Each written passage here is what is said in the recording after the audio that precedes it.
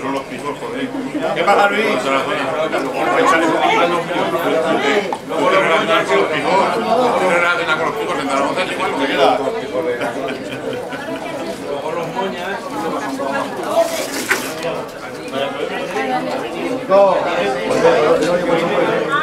ahí.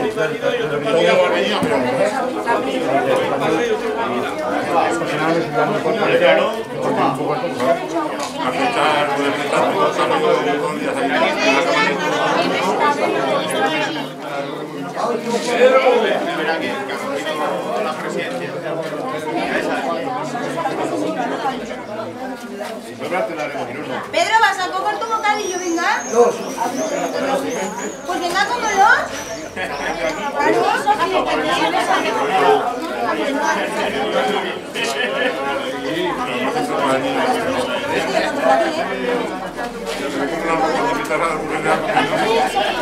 Les dé lo que.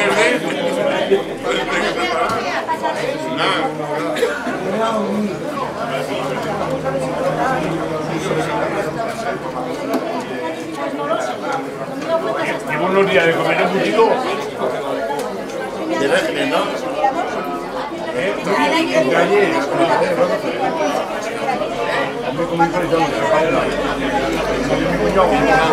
Leera, todo. Todo que está por aquí, se llama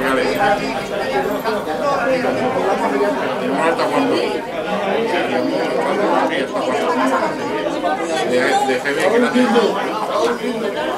Después ya, pues por allá, Que si no se lo llevo luego, ¿eh? Yo voy a la una, la